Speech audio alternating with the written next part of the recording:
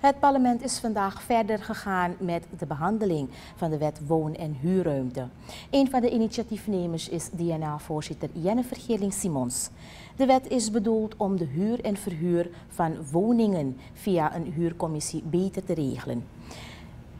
Heet hangijzer is vooral de vaststelling van de huurprijzen en het proces van ontruiming van woningen. Zowel de oppositie als de coalitie is het erover eens dat de wet de rechten van de huurder en de verhuurder moet waarborgen. Een van de sprekers van vandaag was NDP-parlementariër Silvana Afonsua, voorzitter van de commissie van rapporteurs. Voorzitter, en dan ga ik naar ont, ontruiming woonruimte.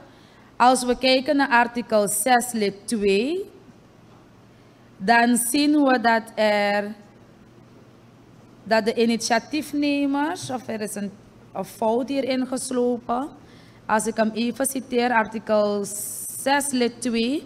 In geval krachtens het bepaalde in lid 1 de huurder op de dag waarop deze de woonruimte zou moeten ontruimen niet overgaat tot ontruiming, is met betrekking tot de gedwongen ontruiming het bepaalde in de leden 3 tot en met 7 van toepassing.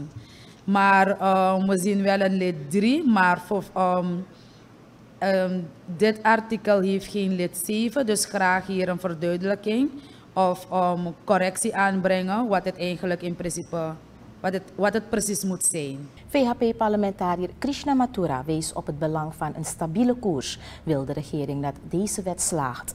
Middels voorbeelden haalde ze aan wat de gevolgen kunnen zijn van een onstabiele koers.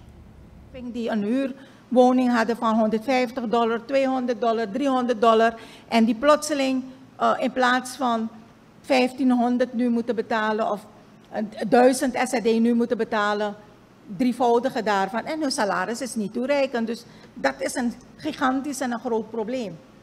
Dus daar moet er een oplossing voor komen.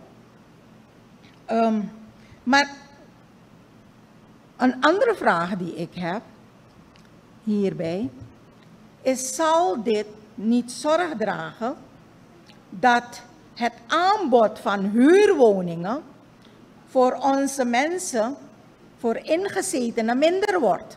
Want zeker in een situatie waar we nu zien dat er heel veel vreemdelingen komen, heel veel toeristen komen en um, andere actuele ontwikkelingen in de toekomst, dat je de mogelijkheden voor ingezetenen beperkt juist.